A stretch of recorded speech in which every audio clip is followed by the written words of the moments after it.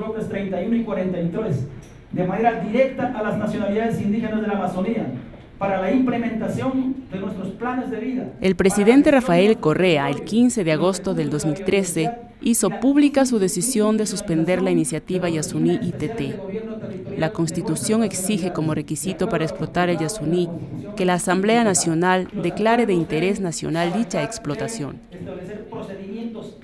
La Asamblea invitó a delegados de varias organizaciones sociales del país para exponer sus opiniones ante la Comisión de Biodiversidad de este poder. De colectivos, de representantes de nacionalidades de las más diversas regiones del país. Me han pedido que un representante de la Confederación Regional Amazónica haga una presentación de tal manera que le vamos a dar... Franco Viteri, presidente del Gobierno de las Nacionalidades Originarias de la Amazonía Ecuatoriana, GONOAE, antes conocido como la Confeniae, expuso sus preocupaciones. Soy Franco Viteri Gualinga, presidente de la GONOAE, Gobierno de las Naciones Originarias de la Amazonía Ecuatoriana, ex Confeniae. Estoy aquí presente primero para mostrar nuestro descontento porque este proceso ha sido inconstitucional, ha estado plagado de contradicciones y de incoherencias. Eso tiene que saber el Estado ecuatoriano y en especial el pueblo ecuatoriano.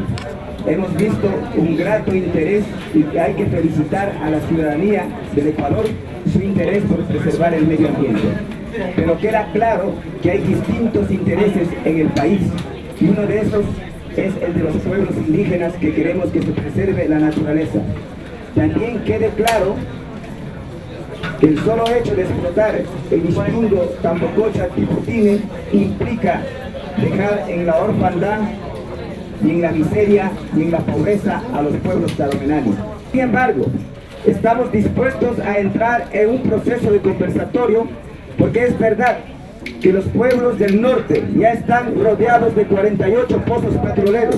Se arme primero una comisión conformado por los personeros de las instituciones seccionales de la región del norte. Segundo, los dirigentes indígenas, las organizaciones indígenas, una comisión de este Congreso Nacional la Corte Interamericana de Derechos Humanos, organismos de derechos humanos, organismos ambientalistas, para verificar en el sitio, porque sí se ha visto que hay hermetismo. ¿Qué es lo que se oculta al país?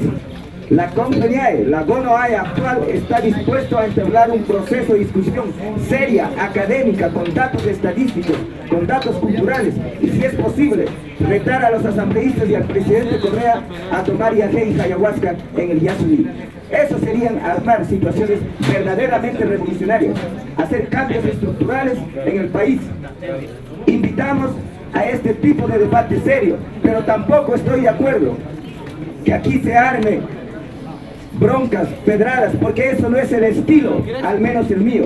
Creo que hay que entrar en un serio proceso de debate y reto a los asambleístas para discutir a cada uno de los que han votado por el sí a la explotación, a ver si es que conoce a ciencia cierta al menos el 30% de la información de lo que se debe saber acerca del Yasuní. Muchas gracias. Muchas gracias.